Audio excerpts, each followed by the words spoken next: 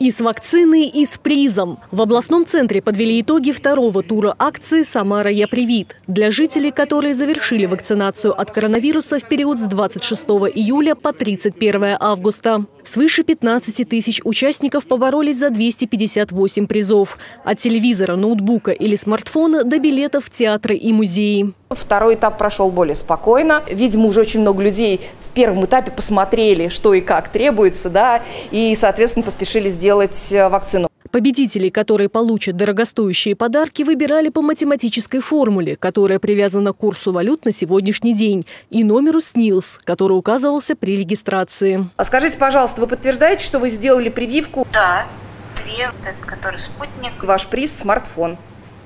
Ух ты, спасибо. Какую вакцину вы сделали? Спутник Ви. Наталья, мы констатируем тот факт, что вы стали победителем акции, и ваш приз – смартфон. Ой, спасибо. Расскажите о себе. Я работаю у шефа. Хобби у меня, я люблю готовить. Вот. Победители акции «Самара, я привит» получат информационное письмо на электронную почту или телефон, данные, которые использовались при регистрации.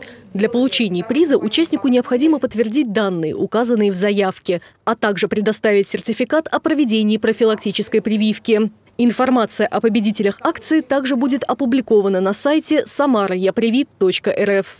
Ольга Хамракулова, Сергей Баскин. События.